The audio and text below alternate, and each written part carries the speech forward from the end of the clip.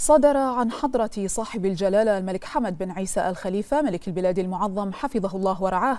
مرسوم رقم 45 لسنة 2024 بإعادة تشكيل مجلس أمناء جامعة البحرين وذلك بناء على عرض رئيس مجلس الوزراء وبعد موافقة مجلس الوزراء جاء فيه. يعاد تشكيل مجلس أمناء جامعة البحرين على النحو الآتي.